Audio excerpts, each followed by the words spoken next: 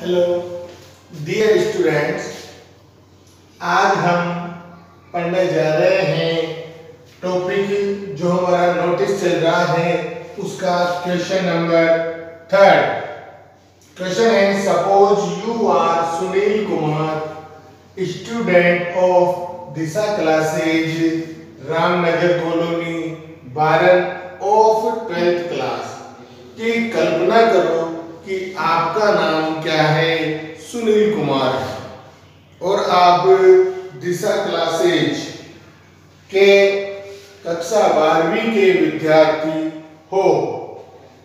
You have lost your English book somewhere in the school campus आपने आपकी जो English की बुक है उसको कहीं पर स्कूल कैंपस में, स्कूल प्रांगण में खो दिया है तो राइट ए नोटिस एक नोटिस बनाना है for the school notice board किसके लिए?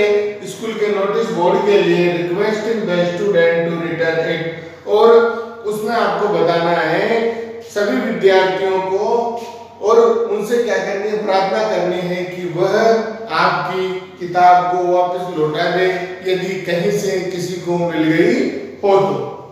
देखो, अब इसका आंसर कैसे लिखेंगे? सबसे पहले हमने लिखा है यहाँ पर name of institute Disha classes उसके नीचे एड्रेस ऑफ़ द इंस्टीट्यूट हो गया रामनगर कॉलोनी बारन तो हमें पता होना चाहिए कि जब भी कोई नोटिस बनाते हैं तो सबसे पहले तो संस्था का नाम लिखते हैं उसके बाद में संस्था का एड्रेस लिखते हैं और नंबर थर्ड पे क्या लिखते हैं? डेट लगाई जाती है, जिस दिन हमें ये नोटिस जारी करना होता है।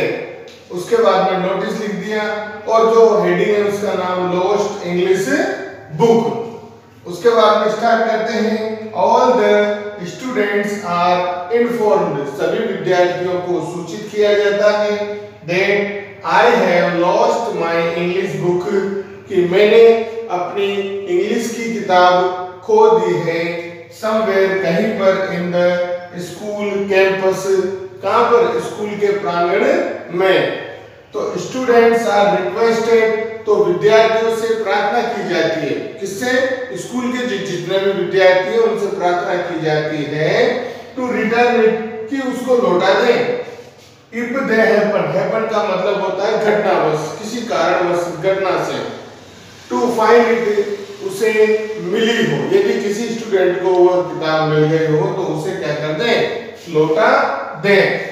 फाउंडर विल बी रिवार्डेड और जो जिसको बुक मिली है, और वो वापस लौटा देगा तो उसको क्या किया जाएगा? रिवॉर्ड किया जाएगा, उसको इनाम दिया जाएगा।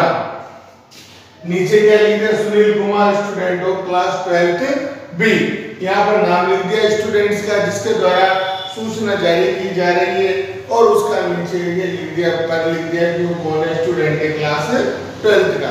तो इस प्रकार हमने क्या लिखा?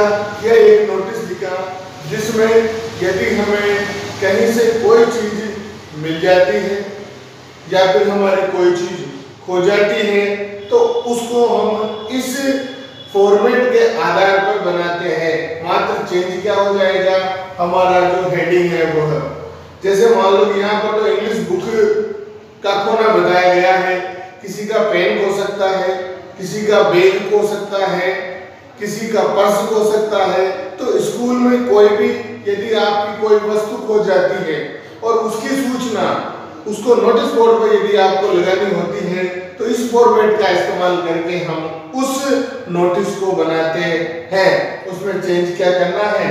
मात्र यहाँ पर हमने जो लिखा है जिस वस्तु का नाम को क्या कर देते हैं चेंज करते हैं और बिल्कुल जो सारा फॉर्मेट है वह ऐसा का ऐसा ही रखते हैं।